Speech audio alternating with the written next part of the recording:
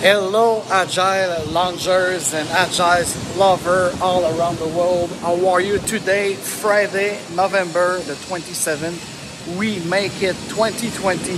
What a year, isn't it?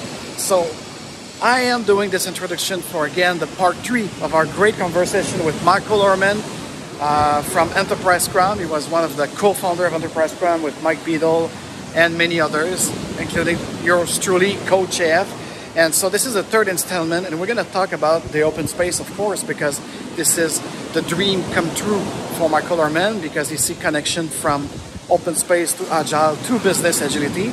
And we are going to discuss in this segment about the importance of no safe space. We have to confront ideas and to confront each other's and to uh, many things. So I'm still in Vivo de Mexico. By the way, uh, we're launching this agile travel and for you podcaster who run with me on Spotify and Apple and maybe soon on Amazon Prime podcast, I would like to let you know that I will be also your concierge for Yucatan, Chiapas, and Campeche for any of your digital nomad needs and uh, even just for leisure. So, in the description for the YouTube viewer and the description you could find uh, the way to, to book your free call with us. And so now let's do it. Let's do it. The part three of this great conversation with Michael Herman on open space, business agility, and enterprise scrum. Cheers, guys, and have a beautiful day.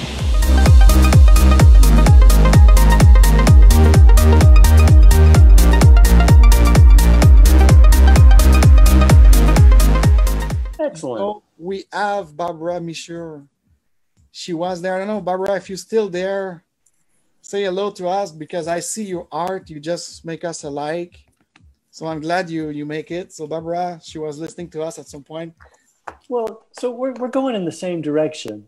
Yeah. And um Who? and this, I fully expect these two boxes to do what my first personal Kanban did, to explode. Exactly.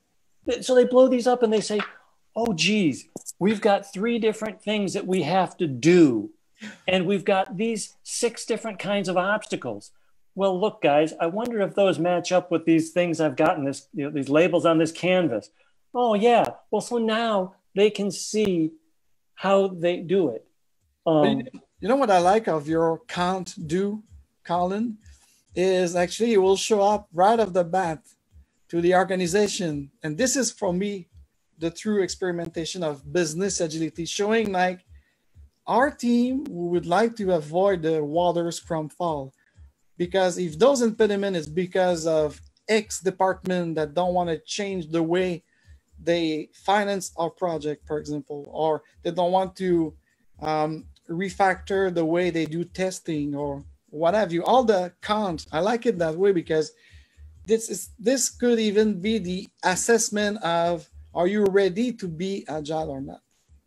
That's well, are you really all... ready to? Are you ready to deliver? I mean, I don't think it has anything to do with being agile because you're either going to let those stop you, voila, or you're going to produce something. Exactly. Right?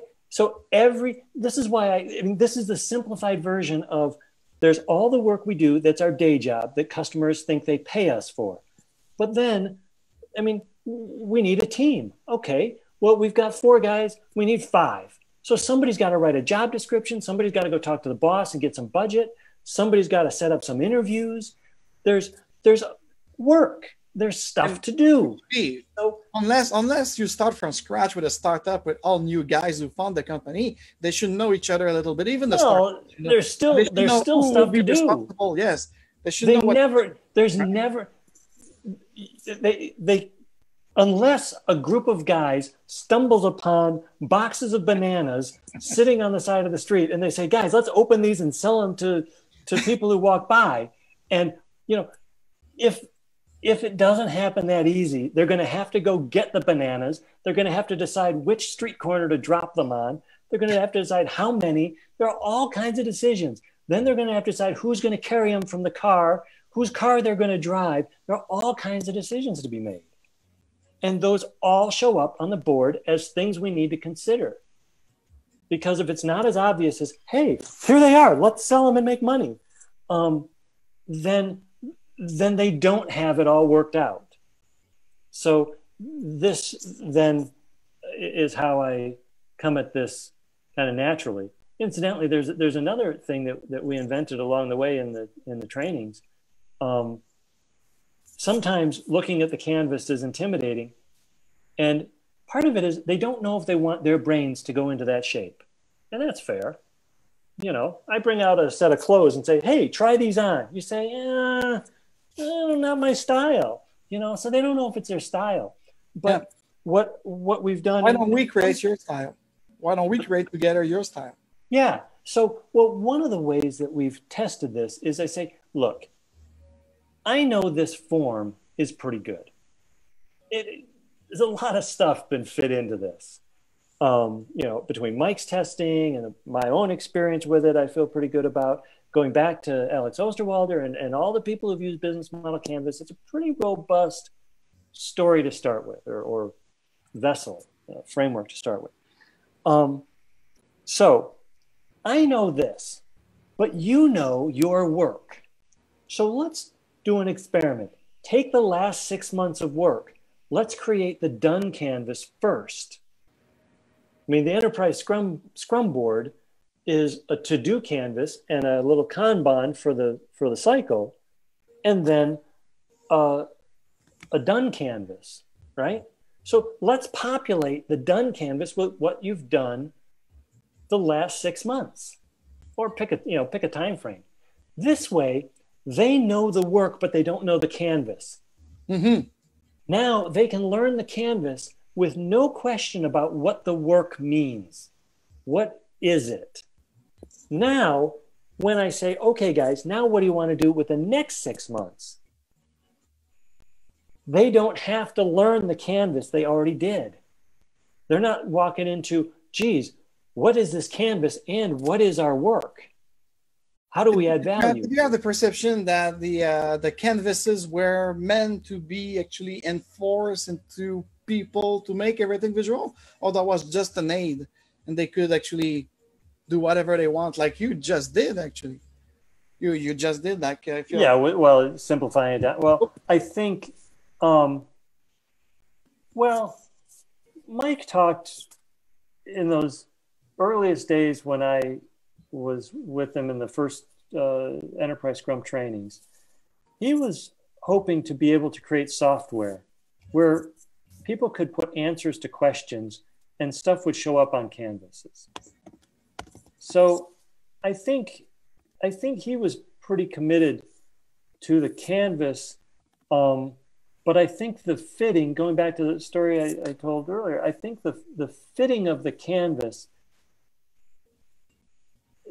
the specific shape and you know the the rigor of the canvas isn't as important as the making that leap to visualizing.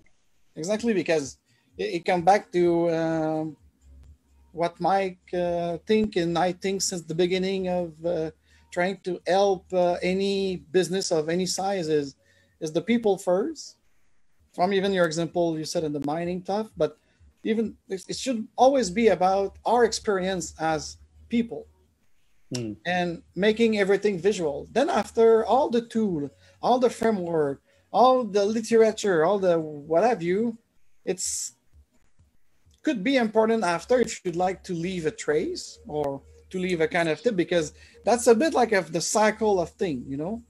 Like uh, I, I, like to to use these uh, analogy of the uh, martial art type of thing, like uh, with your master, the shuhari.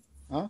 And the mm. moment, you do like the kids on the playground, you experiment things and this stuff like. And then you learn that if you do it that certain way, you have certain results.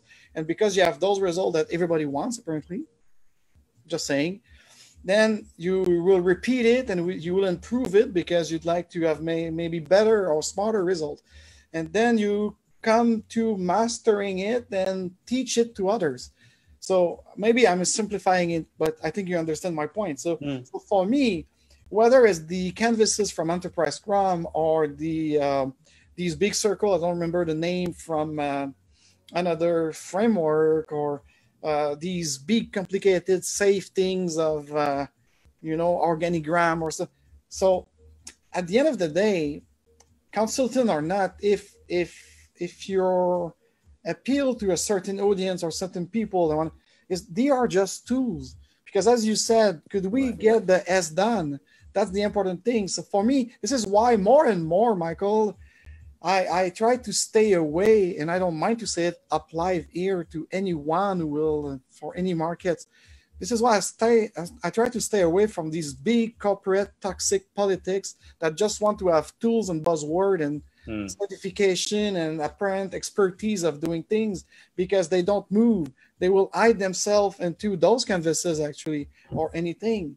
And it became just toxic politics instead of doing thing that brings value to their well, client, for example. You can, you know, in that same way, um, the other story I tell about these different methods is that I know that if we write an invitation inside, especially inside of an organization where people care so much because they're working on stuff every day. It's not mm-hmm. some community thing. It's not a conference. But if you do open space inside of an organization and you say, we're going to talk about the future of the organization, and you're welcome to come and learn and contribute in that, people will come. Yes. And when you set the chairs up and you say, okay, we don't have a, an agenda, you do this in open space, and you say, anything that you think matters to the future of this company, you write it on a paper and put it on the wall. You will identify all the issues that matter. You will get them addressed in breakout conversations to the extent that anybody in the room knows how to do that at that moment. You can take the notes, you can ask them to take notes, and they will. And then you can share the notes around, you can prioritize those and create action plans, immediate next steps for those um, uh, issues now, a lot of times, the thing to do is to go back to the office and go back to work the way we always uh, have worked.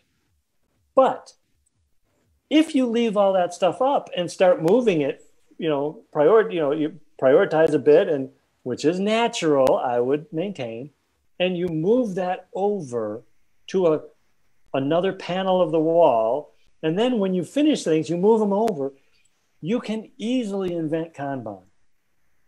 Now, if you have to do some more refining, if you need to, you know, somebody walks up to the wall and says, hey, this thing here, when is it going to get done? Well, most simple Kanbans can't answer that question. Yeah. Unless you've gotten really into the analysis there. But otherwise, I think that just sort of leads you into Scrum, where you start to, you know, look at velocity and look at the, the effort it's going to take, the complexity um, of things, and, and what it's going to take to come over that, how fast you're chewing through this pile. And you're going to have to invent Scrum out of your Kanban. And then, if you do that with very many teams and you have very big things going on, working on the same thing, you're scaling or you're, you're connecting multiple teams, you're going to have to invent enterprise Scrum anyway. So all of that naturally happens. Yeah. And the proof that open space and and that whole journey uh, to, to enterprise scrum is possible was was made for me when I worked with a, a community art center. It's called the Art Barn, Michigan City, Indiana. I volunteered to to open a space on a, a Sunday because my mom is a watercolor artist and they needed some help, and I said, sure, I'll do this. So we worked in open space for a few hours, couple hours, two, three hours. And then I gave them 20 minutes to take everything that was on their flip charts and put it in the canvas. And by God, they did it just like that. Now, they might, it, it might have been a, a stacked deck, so to speak, because they were, they were artists. They're used to mm-hmm. doing their stuff and putting it on the wall. So maybe the mind was already ready to put stuff on the wall, but no matter, they didn't know anything about Scrum and Kanban, you know, like, but they managed to put that stuff up. They could prioritize in the boxes, and they took it and they put it in a spreadsheet, and that's how they ran the next uh, three, six, nine months of their, you know, turning the place around. But that, then I don't know what happened after that, but you don't know what happened after that. But um, I mean, they're still there, but I mean that I mean, they, they, had only talked about what, I mean, the open space was let's get our act together in the next six months. there was a trigger of what you said before. Like uh, we create an open space and we invite everybody, and they will come. Okay. What about those people who are not necessarily less creative, but they feel they're not that outgoing? They are more introvert. What do you do? Is it like because it's an open space? It's a. It's not an issue. It's it not look. Tell me. No, because it. On the one hand, the people always start with, well, what about the introvert? There's a big circle and people have to announce things and then they're, they're, everybody is moving around and it looks like a big party and the introverts would get lost. But I would, I mean, other than being an introvert, very strong introvert, I should say, and um, not really worrying about the extroverts because they always seem to take care of themselves. Um, so the introverts never ask this question. How do you identify introvert, extrovert? Me? Yeah. Oh, identify as uh, as a whole being, so I don't know. Yeah. Okay. Okay. No, but truly. But, so if we all did that, then your question goes poof. But so that for the sake of your question, for the sake of my question, I will say mostly, uh, as I told, like uh, I, am too loud apparently. So, so probably if I'm too loud, I'm probably extrovert. You're probably an extrovert. Well, I feel the need another round for everybody. Okay. Oh, so here's the thing. That's a great. It's a great question because it's extroverts looking out for the introverts. The introverts never ask, "Hey, what about the?" You know, we all go into the center of the circle and say, "This is my burning passion. This is the most important thing to me, and I'd like to talk to a few of you who share this passion." And then the people who gather, I know they only came to talk about the issue that I posted. They're going to go deep into it with me. And I don't know what these extroverts do because they always just want to go around and buy another round of drinks and talk to everybody a little bit and find out what's going on at the next party. They never you know, want to go deep and, and really think deeply and feel deeply and you know all that whatever.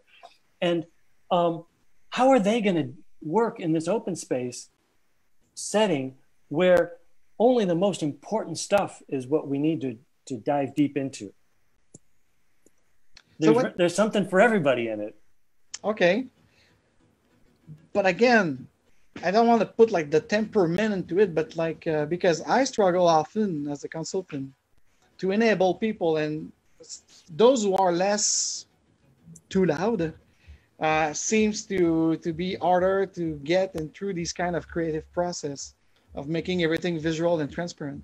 I, am not saying like they want to hide or that's not what I'm saying, but I mean, uh, some yeah, point, I've never found the, when you when you make the currency in open space, you make the currency caring, and nobody, you know, caring. You got different ways to express it, but everybody cares. So we're back to whole people when Mike built this canvas uh, adapted from the uh, business model canvas, he put purpose at the top.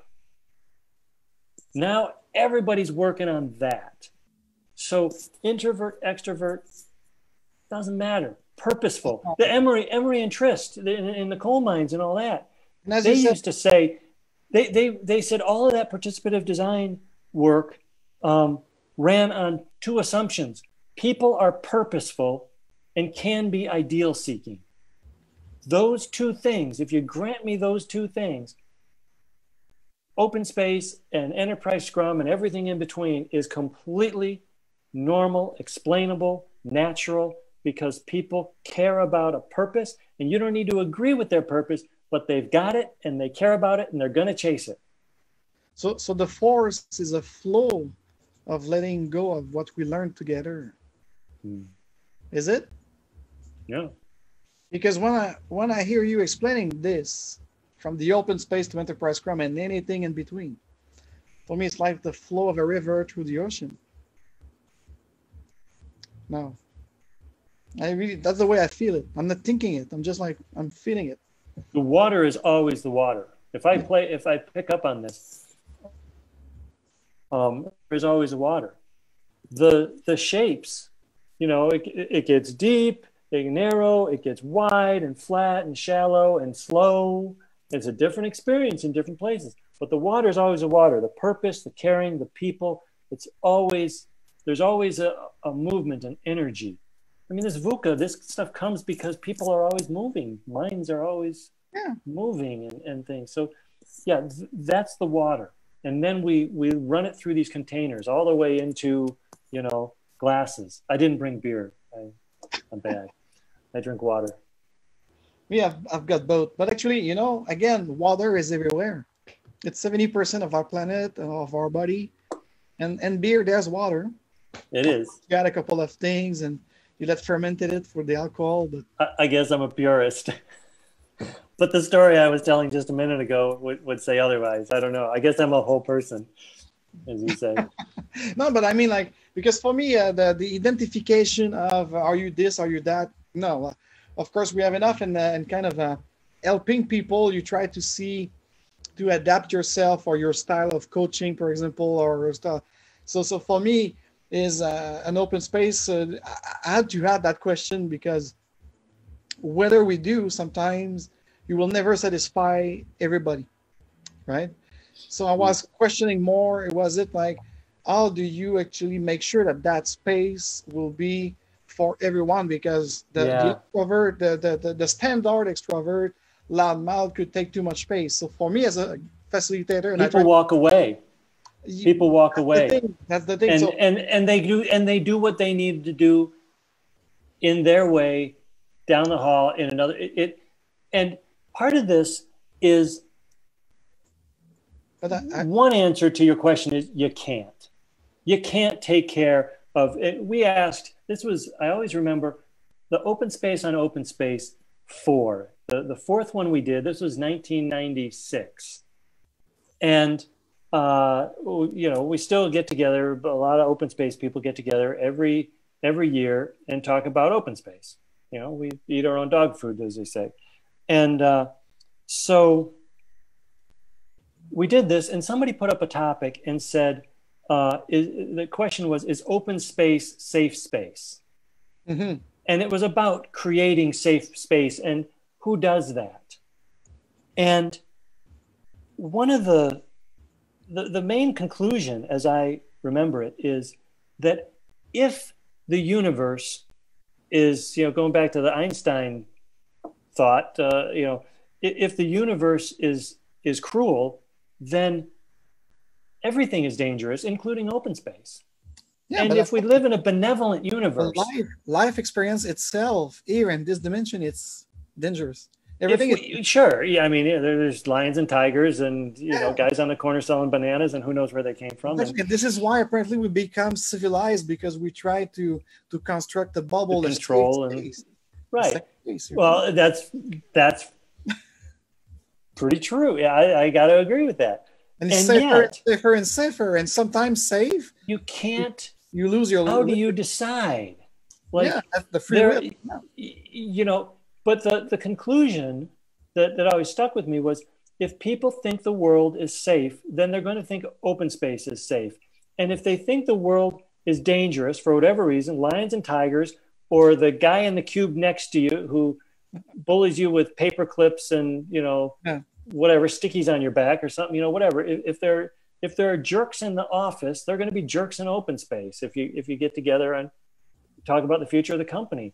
So you can't, in some ways, if taking the organizational context, for instance, if we get open space together in open space, I think it's unreasonable to expect that anybody coming in as a facilitator or the boss or anybody else who would open and hold that space it's unreasonable to hold them to a higher standard than we do every day. It can only be the world we live in. It's not separate from, it's not rarefied.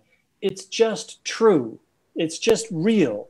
And if the if the office is a cutthroat place, then open space about the office is going to be cutthroat until people choose potential of somebody putting it up and saying, um, "Hey, is there another way other than cutthroat office? I mean, we had a, a in an open space once we had a false choice created because they had a keynote speaker who talked about an issue that some people cared about and the other people were I mean, it was, is the food healthy or emergency food and homeless and, and soup kitchens and stuff? And he talked a lot about um, uh, organics and stuff like that, healthy food. And so there was this division created in the group artificially.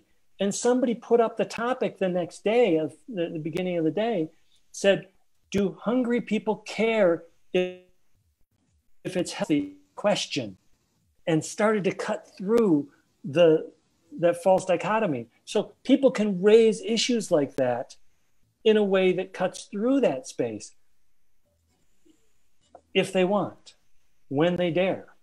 Um, and and so. and people just show up in the open space. Yeah, that's it. I mean, like it's open. It's open for anyone who wants. To... Well, I mean, you convene. I mean, you say, look, we're gonna, um, we're going to have this meeting. We've got 150 people we're inviting who said they, you know, signed up, said they're going to come. We're going to talk about the future of the business or whatever, some smaller topic. Um, you could have all the potential stakeholders. Well, heck, there's a there was a group that used to do industrial design. I mean, they built software that mm-hmm. auto companies and Deere and Caterpillar use to build heavy equipment. My my buddy there um, used to say, "We we design design." they what we're we're inventing what the human mind can then use to make things that come into the world. So they were designing design, and they used to have. He was the vice president of space. He was the vice president. Eventually, he was organization development, then strategic planning, then space was his portfolio, and he was the vice president of strategic planning and customer excellence. And he used to have an annual open space. They brought people in, a handful of people from their 13 or so largest clients they did an open space with that. So it was, would have been a group of 50 or 60 people, maybe. And they identified that it was customers plus some people from the company, right? And oh. it was basically a stakeholder conference. Every year, their biggest customers designed what they wanted to see delivered a year from now. So they didn't have to sell any of that. They only had to build it. So, so you can get that together, and yeah, hmm. people show up, and then they they start writing stuff that they want to see, and, and working out that they work out all the specs. I mean, so so that means that the people interaction is fully open. And well, as open as the people choose. Uh, as the people moment choose. to moment. As you said, like it will reflect the actual organization culture and so on.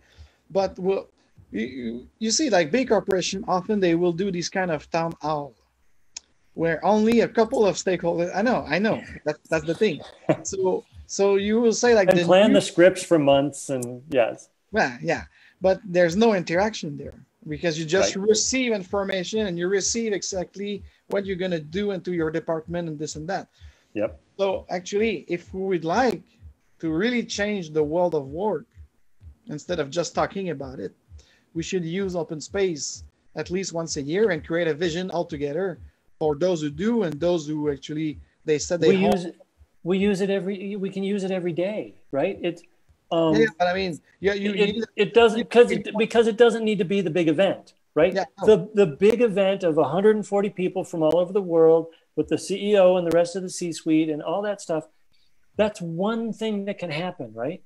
Okay. But that's like the enterprise scrum map with with all the teams linked together you know, like mike's vision.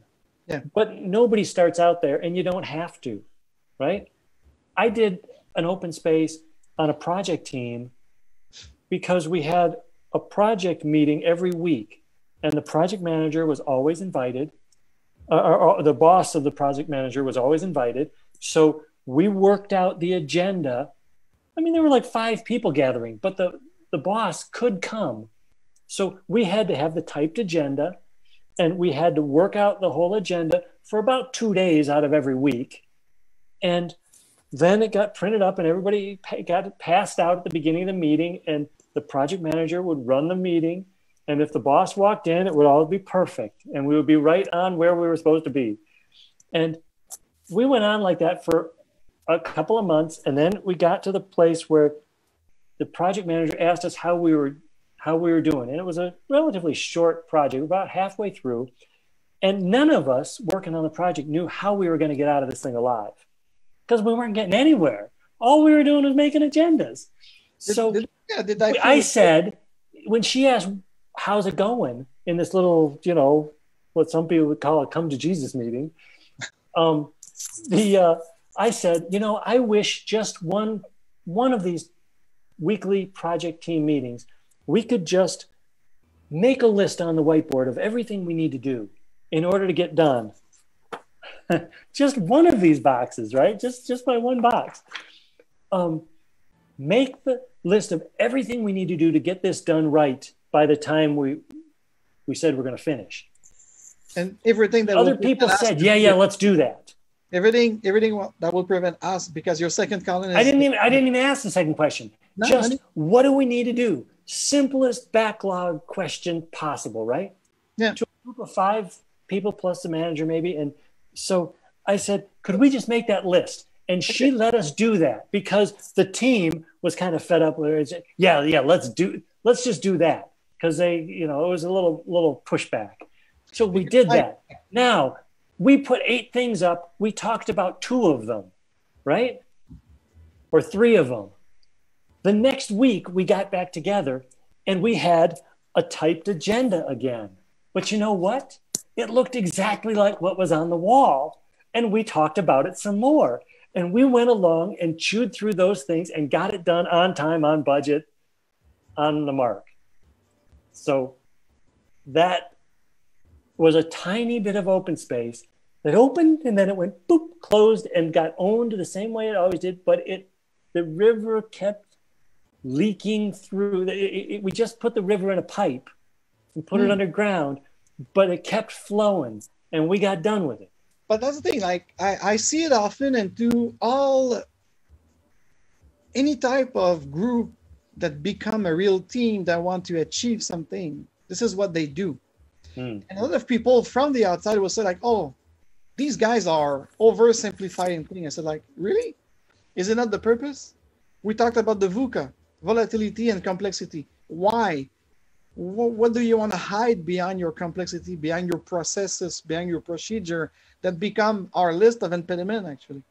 Mm. you let them do with self-organize and self-manage what they are there to do with their skills and competency they will achieve it but if you put them into a box of any type of uh, structure and procedure you're killing the creativity and the possibility of doing the things that are important for all the stakeholders at some point. But question here.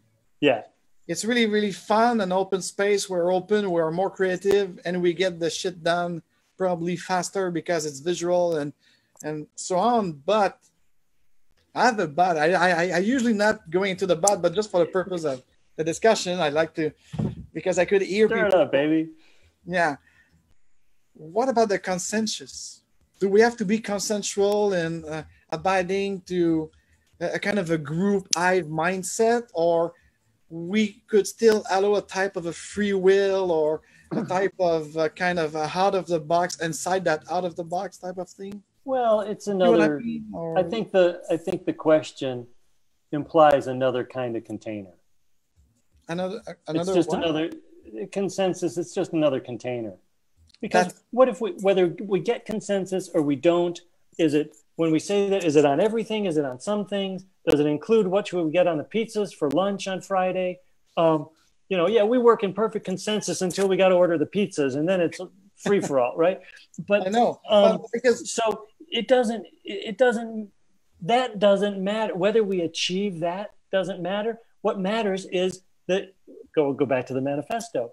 The people and the, the interactions. If they're talking to each other, Exactly. I mean, Marilyn Emery, who Fred Emery's wife, who taught me this participative design, she um, pe- people asked her about using this these methods at uh, I think it was uh, well I won't say the name of the company in case I got it wrong, but there was a company that was raised by name in the in the training, and the problem was, well, what if I do it there where they've done, they've created stuff um, for torture. They're, they're creating tools for torture.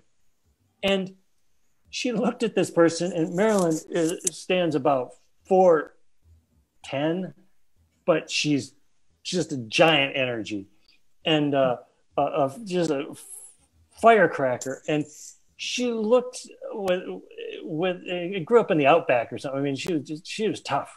And she says, she, she turned on the person and said, how are they going to change if we won't work with them?